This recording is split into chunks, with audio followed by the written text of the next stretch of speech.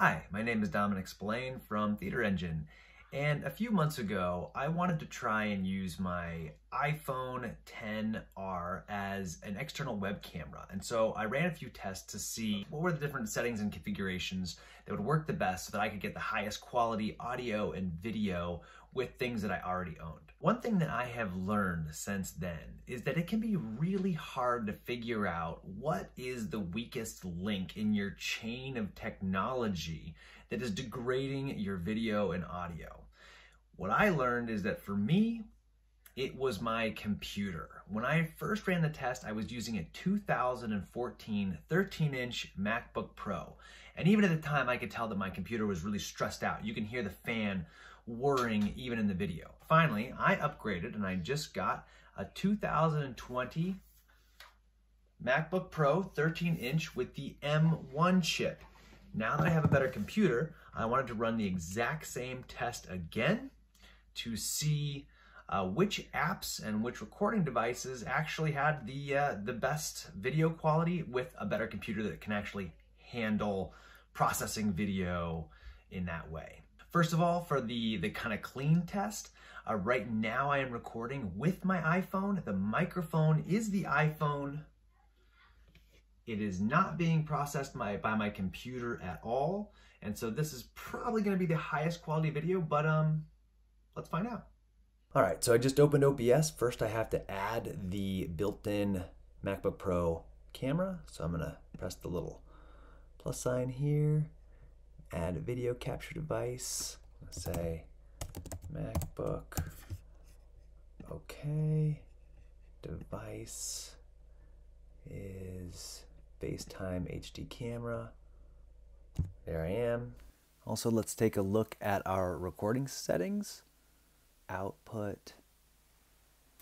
And you can see here that it says recording quality, high quality, medium file size. So this is where you'd go to manipulate different settings for higher quality, bigger or smaller file size. But now you know what we're using for these recordings. So here we go. Test number two. Um, the camera is the built-in camera on the MacBook. The microphone is the built-in mic on the MacBook, and I'm recording with OBS.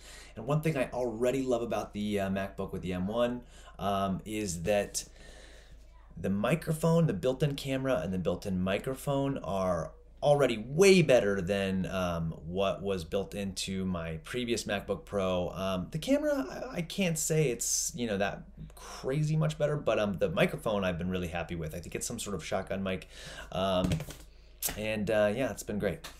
Okay, test number three. My camera is my MacBook still. The mic is the MacBook, but now I'm recording with Zoom. Um, now, this isn't a pure test of Zoom as it would appear necessarily in a live stream performance or in a meeting, because in that case, I'm still competing with my uh, connection to the internet. But um, this is still, it's a good comparison um, for baseline recording quality, Zoom versus, you know, OBS, just as a comparison. Okay, so now I'm gonna head over to some of the apps that will allow me to use my iPhone as an external web camera. Note about the apps, there's a ton of apps out there and it's hard to figure out what, what's the best. Um, I'm gonna go ahead and settle on two apps.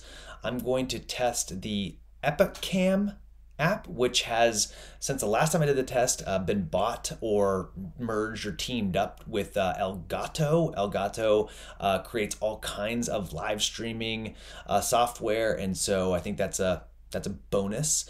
Um, and I'm also going to test out the Iriun app. Last time I did this test, um, I did OBS camera as an app. Um, and I also um, have been referred to Droid Cam. I'm just going to say really quick um, I tried to do OBS camera uh, just now and um, I opened it up, couldn't make the connection, didn't feel like troubleshooting it, so I tossed it. Um, Droid Cam, same thing. I downloaded Droid Cam, opened it up, uh, it wasn't seeing my camera, and so I tossed it too. Um, I just feel like there's so many just different choices out there. EpocCam is a great thing. Um, and Iriun is a great thing, and uh, both work with both PCs and Macs. Um, so I'm just gonna stick with those. Okay, so let's go get the Iriun app from the Apple iTunes Store. Here we are on the iPhone. Search for it. Here it comes up. download it, let it download, and open it up. Good to go. All right, now we need to go download the drivers for the computer. So just type in Iriun, comes up, click on it. Look, right here, uh, webcam for Mac. I just download that. And I already have this downloaded, so I'm not going to go through those steps. But now, once it's downloaded, now I can close this window, open up my Finder, go to my applications, and find Iriun, open it up. And here we go. There it is. It's connected. All right, now we want to connect this to OBS. So we open up OBS, open our video capture device, name it Iriun, hit OK, select it from here. And now it should be in this drop down. And boom, there we go. Now we can record via the Iriun app. Test number four. My camera is the iPhone. Okay, so I'm to pause it here for a second because you can see that the text on my whiteboard is backwards. Um, that is not a problem with the Iriun app. It does have a setting that allows you to switch it so that text and things like that will appear correctly. So I'm just going to flip it manually now because I forgot to do that when I was running the test. But it is a good thing for you to keep in mind. The microphone is also the iPhone. I'm recording with OBS um, and I'm connected over Wi-Fi. I have heard people tell that you can connect with a USB cable with the Iriun app. I haven't been able to figure that out for the Mac. Um, maybe that's just a PC thing. Anyway, so I'm connected over Wi-Fi, um, and the app is Iriun.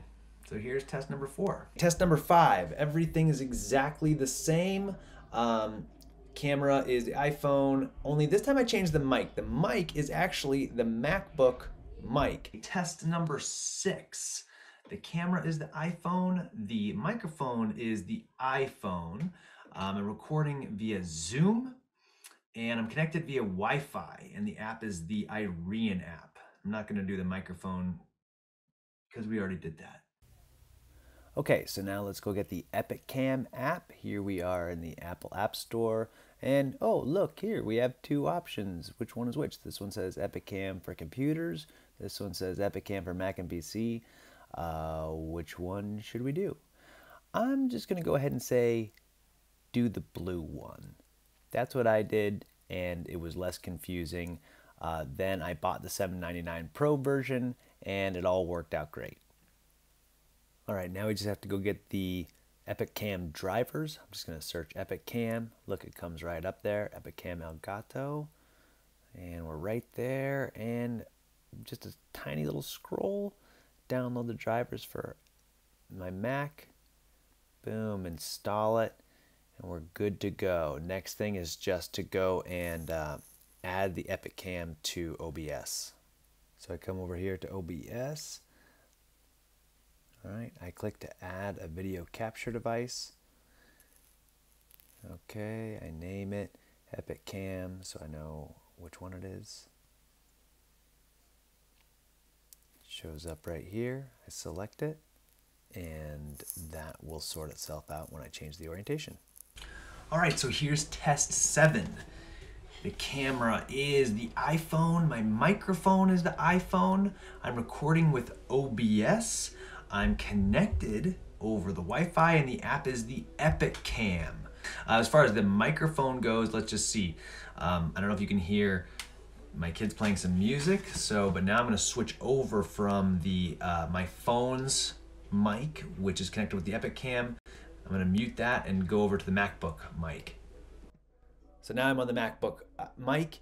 Uh, another uh, just comparison of the MacBook mic uh, in comparison to the uh, to the my phone's mic connected to the EpocCam. All right, now let's try Zoom test number eight. I think it's eight. Um, I'm using the EpocCam app. The phone is uh, my is my iPhone. The mic is the iPhone, but I'm recording with Zoom and I'm connected with Wi-Fi. All right. So now let's see what happens when I'm connected with the USB. Okay, test nine. So EpocCam app. I'm recording with Zoom, uh, but I'm connected with USB this is a good test because um, technically the fact that I'm connected with USB should be less loss of quality. But again, it depends on your computer uh, because sometimes if you're sending higher quality and your computer can't handle it, it's actually going to freeze up even more. So, uh, but let's see. So now we're, we've got the you know new MacBook M1. We're sending with USB. Um, any difference from the Wi-Fi? Yabba dabba dabba dabba doo. Final test. So my camera is the iPhone. The mic is the iPhone. That is incorrect. For this test, the mic was actually the MacBook Pro. I'm connected with the EpocCam app. I'm connected with USB and I'm recording with OBS, which I said is o- OSB. Just know that that is OBS. I didn't switch over and record with something called OSB. That doesn't exist. Um, all right. Something else I like about EpocCam though is I can change my recording settings. So I'm going to go over here to the app and I'm going to say to record at quality best. Let's see if that makes any difference. You know, I'm going back and forth. You know, I'm talking really fast. I've got a lot of things to say. Seems to be recording pretty well. I'm back on the iPhone just to bookend the comparisons. Um, final thoughts. I thought that the EpocCam was the clear winner. I thought the EpocCam, especially with USB and with OBS, um, looked almost as good as good as good as it does just being recorded straight from the iPhone. So um, a note about the microphone, I did notice that the phone's microphone is more sensitive, but it catches more um, atmospheric noise, whereas the uh, the microphone on the computer um, had more focused capture of sound from my voice, but you can tell this in the video because I manipulated a little bit. It was it was quieter, so um, that's just a consideration as well. Um, that's it. Good luck and uh, have fun.